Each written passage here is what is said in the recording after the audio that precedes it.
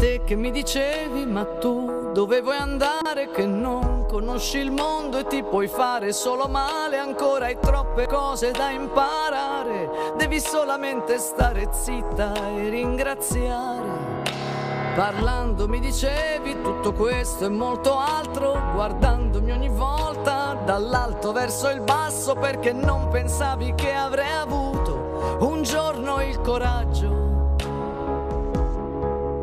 mi sembrava di restare ferma al punto di partenza, di non essere capace di bastare mai a me stessa, di non avere una certezza, di non essere all'altezza. E invece pensa,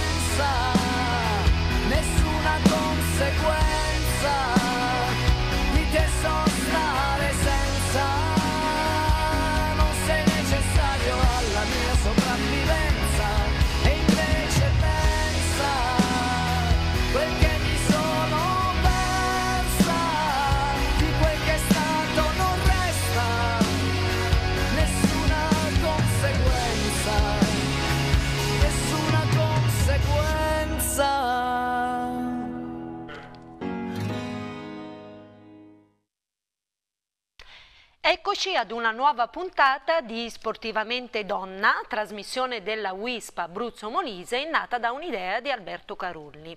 Anche oggi trascorreremo un po' del nostro tempo con due donne ospiti nuove.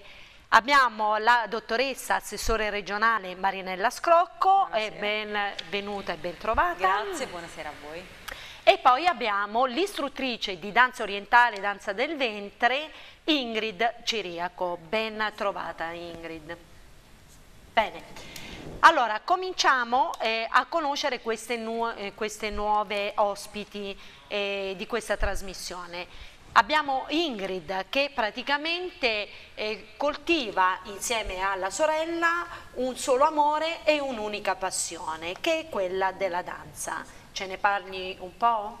Allora, abbiamo iniziato questo percorso eh, di danza da bambine, eh, con varie cioè, diciamo, discipline e poi per arrivare alla- nel 2003 alla danza orientale danza del ventre con vari insegnanti e da qui nel 2007 abbiamo formato il nostro gruppo e dal 2011 abbiamo intrapreso la strada dell'insegnamento.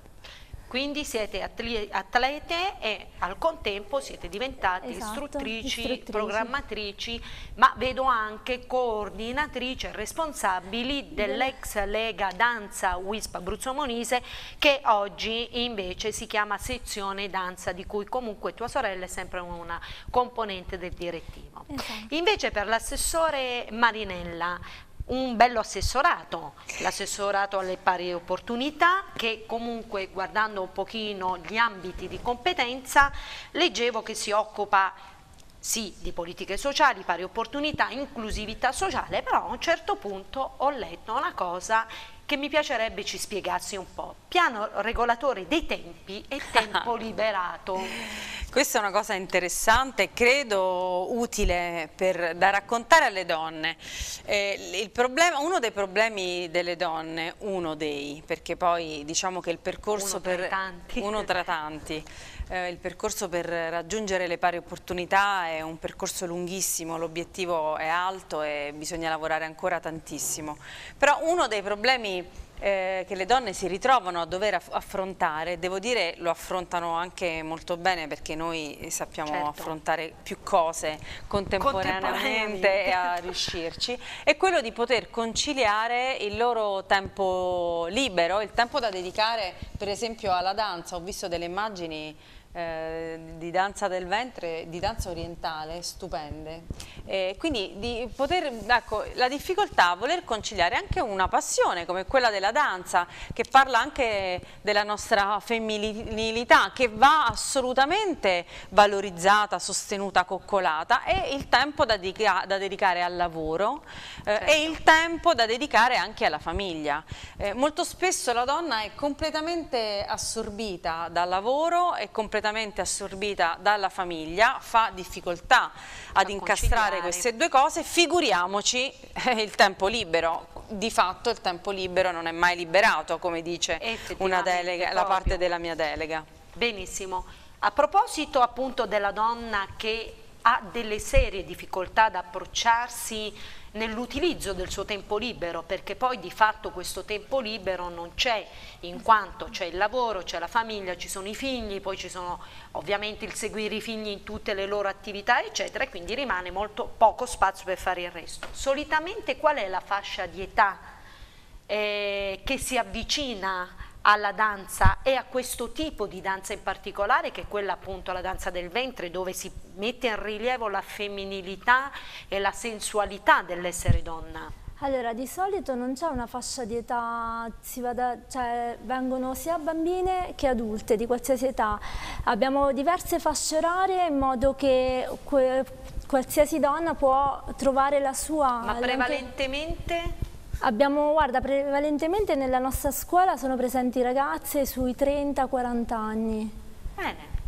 Quindi c'è una fascia, una fascia appunto, sì. dove si comincia a recuperare questo esatto. senso del proprio tempo tempo, quindi è una danza insomma, che po possiamo fare tutte a questo e punto. poi forse anche la femminilità a quell'età è, è, consapevole, diciamo, no, no, ha più quindi, contezza di sé. Esatto, esatto, quindi che bello, uno no, magari prima neanche confuso, no? la donna neanche confusa, non, non sa come se è troppo, se è poco, come approcciarla, forse invece a quell'età vuole, ah, che esatto. bello, ne sono consapevole, la voglio Ed è più difficile insegnare usare. alle donne di questa età o anche più grandi o alle bambine, alle ragazzine? Allora, secondo me cioè, le, più, più, alle bambine, perché le bambine a quell'età ancora non capiscono, per loro è un gioco, no, la Sono danza. più disinibite, Esatto, insomma. invece le, già a 30 anni, 20 anni, già chi viene a danza è perché sa quello che vuole, sa quello che vuole fare. Invece la bambina si approccia, magari non, mm. magari non le piace oppure Bene. si vergogna.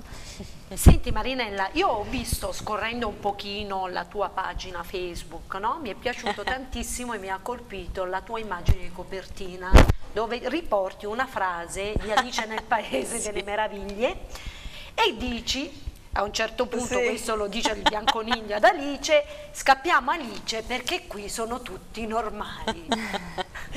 Come mai? Allora intanto il, quella, quel racconto di Carol io credo che sia ricco di metafore eh, che uso spesso, devo dire, perché è pieno di spunti un po', un po folli io li uso anche con i miei pazienti quando sì, infatti ora volevo dire, è anche molto attinente e pertinente alla tua esatto. disciplina insomma. Sì perché è talmente tanto sì. colorato quel racconto è pieno di, di cose che da dire. Che è sempre attuale comunque. Che è sempre attuale, sì. E quella frase mi piace tantissimo perché per tanti motivi. Eh, una volta la mia professoressa al liceo ci fece fare un tema, la normalità uccide ribellati, questo era il titolo. Eh, impegnativo, eh, però insomma molto stimolante, quindi che cos'è la normalità, che cosa ci, non ci piace della normalità e che cosa invece vorremmo eh, di, di, di, diverso. Eh, L'ho messa quella su Facebook perché ultimamente credo che quei social, quelle piazze virtuali che hanno sostituito certo. di fatto le, le, lì, il vis-à-vis, -vis, mi sembra che tutto sia normalizzato, cioè è possibile fare tutto e il contrario di tutto tutto, non ci si scandalizza più di niente o si, ci si scandalizza assolutamente di tutto. Eh, mi sembra diciamo veramente un, un mondo un po' folle. E, ehm, Quindi ti sembrava la frase mi sembrava più la frase più contesto. azzeccata per quel contesto, esatto. Anche cose assolutamente assurde per me vengono normalizzate, c'è re, un relativismo imperante e quindi, oddio, aiuto, qui tutto sembra normale quando invece eh, magari non Potrebbe lo è. Ci sono mille sfumature sfumature, esatto, certo. potrebbe essere... Allora Ingrid, Insieme a tua sorella hai messo anche una scuola ovviamente che ha una, la sede a Martinsicuro e poi ne avete un'altra seconda a San Benedetto, quindi vi dovete anche dividere immagino come eh, spazio proprio fisico per sì. poter andare e poi insegnare o comunque ad essere presenti. Come, come vivi diciamo, questa difficoltà unitamente al fatto che continuerai sicuramente a coltivare la tua passione, il tuo amore, perché non solo insegni, immagino che comunque continui a danzare. Esatto, noi praticamente cerchiamo di creare più orari, come dicevo, in modo da poterci spostare anche a organizzarci. Ma sola o insieme? Eh, di solito facciamo insieme, andiamo insieme. Quindi le donne quando stanno insieme sono veramente irrefrenabili, nel senso riescono, prima ne parlavamo con Marinella, un, un disappunto se vogliamo per l'essere donne è questo che spesso le donne non sono solidali tra di loro, quando invece riusciamo a creare un sodalizio è vero, questo cioè, si può creare, infatti quello che, di cui parlavamo in questi giorni è che noi eh, abbiamo creato un gruppo, noi siamo tre cioè, diciamo, pilastri dentro la scuola che studiamo insieme, andiamo fuori eh, e ci organizziamo nei vari spettacoli e abbiamo formato un gruppo con queste ragazze che sono venute cioè, a scuola a imparare questa danza e c'è armonia tra di noi, mm, si è creata una bella situazione sì, in modo... Cioè c'è un'empatia che un vi permette di lavorare. E, e le, anche le, eh, arriviamo anche al pubblico con questo, cioè perché spesso spesso arriviamo, le persone rimangono magari colpite dal nostro stare insieme, dal nostro andare d'accordo, certo ci sono litigi, è normale, siamo donne. cioè, Vabbè, ma il però, litigio poi se è costruttivo... Esatto, esatto, però ci vogliamo bene, quindi le, le persone, cioè, alle persone arriva. Quindi... Sicuramente l'aura positiva di cui noi siamo capaci di circondarci e esatto. di trasmettere ci permette anche poi di farlo arrivare nelle altre persone e negli altri contesti. Sei d'accordo Marinella? Sì, sì, non è vero che le donne sono litigiose tra di loro, in assoluto, non è sì, assolutamente sì, vero, gli uomini fanno a cazzotti di continuo, io potrei però c'è qualcosa che ci di questo per mesi, quindi non è vero, sono dei pregiudizi, in realtà le donne sanno fare squadra. Sì, però spesso magari ci ritroviamo a stare più giorni magari insieme, quello stare insieme magari si è in disaccordo su alcune cose, sì, però, però normale, ci si, cioè, comunque se c'è dialogo. Le donne quando fanno squadra bisogna saper litigare. Esatto. Assolutamente. Assolutamente. Bisogna, saper bisogna poi saper litigare, trasformare esatto. la lite in qualcosa di positivo. Sicuramente sì. Perché appunto quando fanno squadra non ci ferma nessuno. No, questo è, eh. È vero, è vero. Quindi insomma un po' dobbiamo imparare anche, come dire, a fare maggiormente squadra o ad apprezzarci un po' di più senza ricorrere poi a delle azioni subdole o meschine che non portano da nessuna parte, anzi fanno molto male proprio all'essere donna, a questo, diciamo, a questo mondo della femminilità che ha tutti i suoi pregi, che ha anche tutte delle sue connotazioni particolari. Sicuramente tu però insegnando e praticando la danza avrai avuto grandi soddisfazioni, grandi risultati, ma anche molti sacrifici perché non si ottiene assolutamente nulla esatto. in maniera gratuita, grandi sacrifici, grandi privazioni, grandi rinunce, insomma ci sono i pro e ci sono, sono i contro. contro esatto. Sono più i pro o sono più i contro ad oggi? Ah, penso sono più pro perché bisogna, se uno riesce a organizzare il tutto, bisogna avere anche persone giuste vicino per eh, fare tutto. Di nuovo la squadra. Esatto. Scegliere collaboratori. Però sì, ci sono comunque, come dicevi, pro e contro. Cioè, nel senso, devi fare delle rinunce, però... Cioè, se tornassi indietro, faresti esattamente tutto come lo hai fatto e tutto ciò che hai fatto? Eh, per quanto riguarda la danza sì. sì. Per, quando, sì. per, quanto riguarda poi la vita personale, sì, forse no, ognuno di noi vorrebbe correggere lo studio, qualcosa. Esatto, così. Però Bene. per quanto riguarda la danza sì. Bene. Senti Marianella, allora Ovviamente assessorato alle pari opportunità, pari opportunità di cui si parla anche nella pratica sportiva, per esempio abbiamo avuto finalmente l'approvazione della Carta dei diritti della donna nello sport che è stato un percorso eh, che è partito da lontano ed è stato anche fortemente sostenuto dalla WISP Olimpia. Tu ritieni che nello sport ci sia bisogno di pari opportunità ancora oggi? Sì Assolutamente sì, come in tantissimi campi, che non sono solo quelli della politica. I, quelli della politica sono quelli che mh, forse sono più visibili, quindi dove eh, visibilmente, visibilmente, mancano le donne, ma in realtà le pari opportunità occorrono in tutti i settori. Ci sono pochi rettori donna delle università, certo. i primari sono quasi sempre uomini, insomma ci sono molte categorie che hanno ancora bisogno di... Eh, Come dire, davvero, di esatto, o di essere integrati. Di essere moderni, diciamo, di, certo. davvero.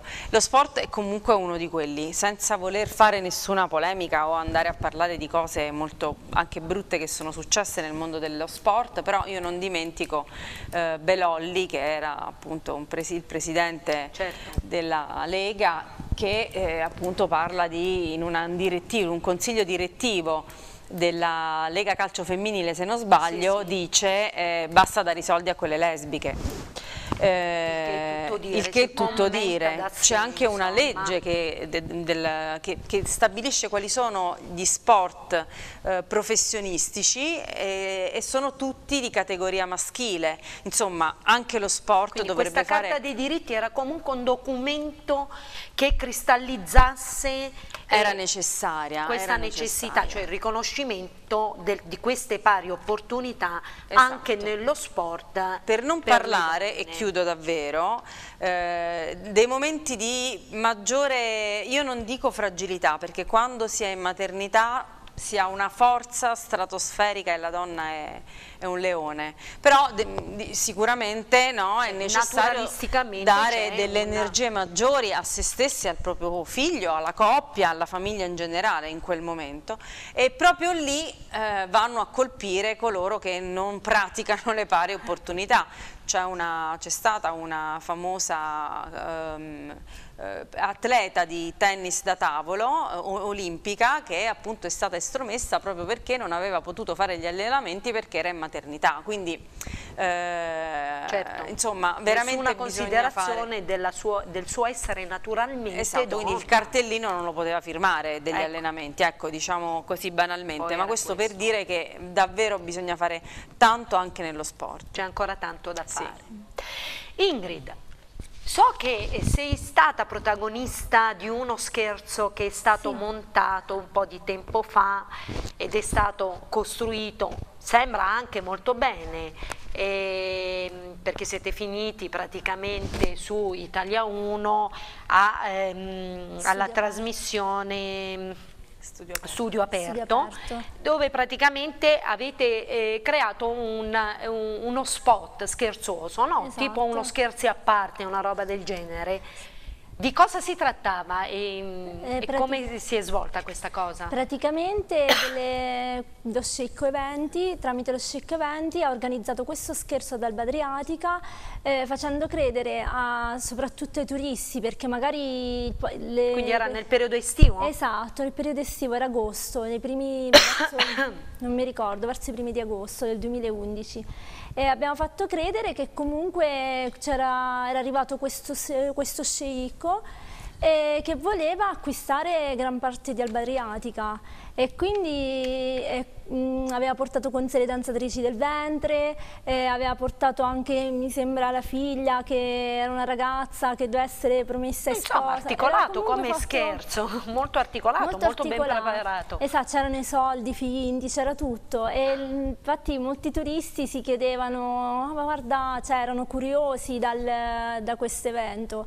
E poi dopo, il giorno dopo, praticamente c'è stato proprio un piccolo sketch su Studio Aperto e dove... Quindi siete riusciti a fare breccia anche esatto. a vostra insaputa su un canale molto seguito, molto importante. Esatto. E a proposito dei soldi, diciamo c'erano anche dei soldi, mi finti, stavi dicendo, ovviamente. di questi soldi finti, ti chiedo anche questo perché so che voi in un qualche modo siete anche presenti nelle feste di rievocazione del Medioevo, sì, un po' come quello che abbiamo anche qui in Abruzzo, però voi se non sbaglio siete state presenti in Sicilia, in qualche sì. località siciliana. Eh, sì, in comune in provincia di Catania per due anni di fila siamo state protagoniste di questa festa medievale che dura nove giorni. Ed è anche molto affollata, cioè sì, ci sono affollata, molte presenze. Esatto, vengono già persone proprio da, dalla Sicilia, da tutta dalle varie parti della Sicilia a vedere proprio questa festa perché è grande e comunque dura tanti giorni. Quindi e... una grande soddisfazione, esatto, sì, una grande un soddisfa... bellissimo momento. Sì, perché poi comunque si creano anche amicizie sul posto, comunque anche a livello, a livello professionale si creano amicizie tra e artisti. si cresce. Si cresce, sì, si, ci si ritrova nelle varie Insomma, feste. ci si danno opportunità. Esatto. Ci si danno opportunità. Marianella, come dicevi prima, nell'ambito della politica forse è più tangibile il fatto che non ci sia piena parità tra gli uomini e le donne, cioè tra l'essere uomo e l'essere donna. Io so che è stata approvata, dal, appena approvata dal Consiglio regionale, perché lo ha detto questa mattina il nostro Presidente della Regione Luciano D'Alfonso, che con molta soddisfazione mm. lui ha detto che è stata mm. finalmente approvata questa legge che prevede la eh, diciamo, preferenza di genere anche nelle elezioni regionali. Ce l'avevamo per le amministrative e è arrivata in Abruzzo anche su queste elezioni regionali. Allora, chi è stato intanto il promotore di questa legge? Perché si può essere anche soddisfatti di una legge, ma qualcuno la deve presentare, qualcuno certo. la deve preparare. Sono contenta che il Presidente si dica soddisfatto, perché non è, non è stato affatto semplice ah. Eh, l'iter di questa legge, è una legge che presentai io sei anni fa, eh, fu eh, bocciata la prima volta sei anni fa, c'era un altro Presidente, eh, perché solamente in sei votammo favorevolmente alla doppia preferenza di genere, l'ho ripresentata due anni fa e ci sono voluti ben due anni eh, per eh, finalmente approvarla Arrivare ieri. Arrivare a maturazione. A maturazione, quindi all'unanimità. In realtà questa legge è uno strumento, come tutti gli strumenti possono essere usati, dovrebbero, spero, potranno essere usati bene dai partiti che dovranno poi formare le, liste elettorali, ma lo strumento è in mano agli elettori, perché noi grazie a questa, a questa legge diremo ai cittadini abruzzesi che potranno scegliere ben due nomi e quindi scrivere, votare ben due persone sulla scheda elettorale. Quindi, purché, siano di... purché siano di genere diverso. Quindi potranno fare o come sempre votarne una, votare una persona sola, oppure scegliere, quindi un grande potere che si dà, certo. un potere in diciamo più. che gli si raddoppia questo gli si potere, raddoppia, questo esatto. voto vale doppio Vale doppio, l'importante è votare maschio e femmina, quindi di, di genere diverso, quindi eh, numericamente avremo un consiglio diverso perché eh, io sono dovremmo stata sempre da sola, dovremmo avere. avere si spera, si spera che possa aiutare le, pare insomma Infatti studi... ti dico qual è la mia perplessità sì. su questa legge allora innanzitutto mi voglio complimentare con te perché Grazie. comunque la legge è, è tua mia. la sì, legge sì, è tua diciamolo io. chiaramente che la legge è dell'assessore Marinella Scloppo poi eh, la precisazione o comunque la doglianza è che non si dovrebbe arrivare no, in un paese bravissimo. civile a dover fare una legge per tutelare bravissimo anche la partecipazione delle donne alla vita politica. Ancora peggio se abbiamo soltanto una preferenza di genere e poi non abbiamo un'obbligatorietà nella costituzione dei consigli diventa un po' difficile questa cosa, però voglio dire, cominciamo da qualche parte, bravissimo. cominciamo. Assolutamente antipatico e maturo in una società che certo, si dica certo. democratica, certo. dover inserire correttivi per le pari opportunità, sono assolutamente d'accordo, io non l'avrei mai voluta presentare, però il fatto reale certo. è che io sono stata eletta da sola, dieci anni fa in Consiglio regionale, sono da sola in maggioranza questa volta, ero da sola 15 anni fa in Consiglio provinciale, quindi è difficilissimo essere eletti, non impossibile perché io sono stata sempre eletta, ma è difficile perché sono stata eletta sempre sola, le, le donne fanno difficoltà proprio per quello che dicevamo all'inizio, cioè conciliare tutto certo. è molto difficile. E spesso si rinuncia a questo aspetto esatto. in un qualche modo. Comunque tu oggi sei ancora ancora sola o molto sola dentro il consesso politico regionale, insomma, non hai... Sì, solissima, c'è una, una, collega che è Sara Marcozzi, eh, che si candidò a Presidente dei 5 Stelle, ma a parte lei siamo in due, siamo in due su tanti consiglieri, su un numero sconsiderato di, uomini, eh, ripeto che vanno comunque, insomma che va bene ma va male perché eh, le donne devono essere rappresentate nelle istituzioni, lì fuori c'è una complessità... Ma i colleghi maschi quando eh, sedete nei consessi, quindi in consiglio in giunta, vi vedono come donne, vi trattano da pari? No, c'è una... Mm, Ovviamente uh, non generalizziamo. ma poi non è neanche, a volte non è neanche consapevole, eh? io vedo che lo fanno molto spesso perché è naturale, no? è talmente indole. tanto una cosa antica, no? una riminiscenza, una cosa che loro fanno naturalmente, che per alcuni non è fatta con nessun tipo di, mm, di cattiveria o di malignità, malignità.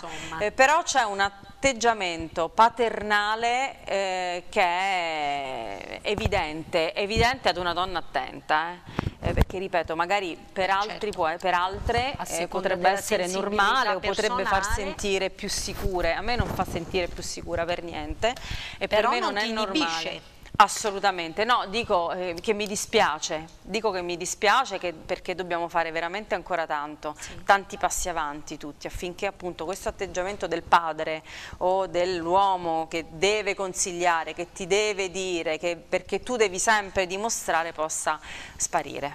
Bene. Ingrid, allora, progetti, speranze e sogni nel cassetto? Allora, per il momento stiamo organizzando il saggio eh, che si terrà il primo luglio all'Auditorium Pacetti a 100 Buchi e eh, abbiamo un'estate piena di eventi, quindi stiamo organizzando tutto. Quindi tutto avete praticamente un... Uh un sold out, avete tutto pieno, tutto riempito, sì. tutto messo per bene, insomma siete praticamente coperte per questa stagione, benissimo.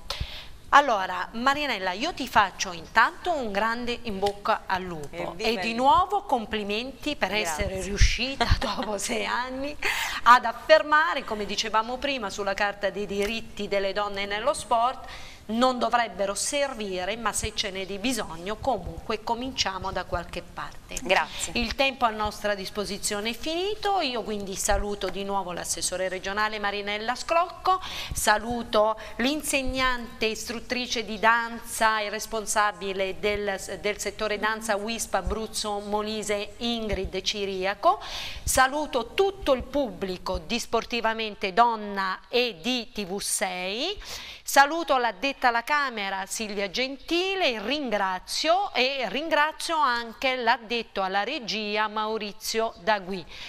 Vi lascio un arrivederci alla prossima puntata di Sportivamente Donna.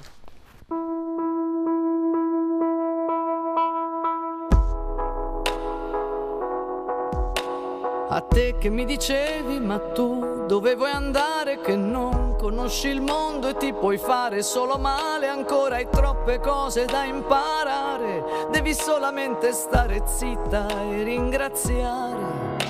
Parlando mi dicevi tutto questo e molto altro, guardandomi ogni volta dall'alto verso il basso. Perché non pensavi che avrei avuto un giorno il coraggio mi sembrava di restare ferma al punto di partenza, di non essere capace di bastare mai a me stessa, di non avere una certezza, di non essere all'altezza. E invece pensa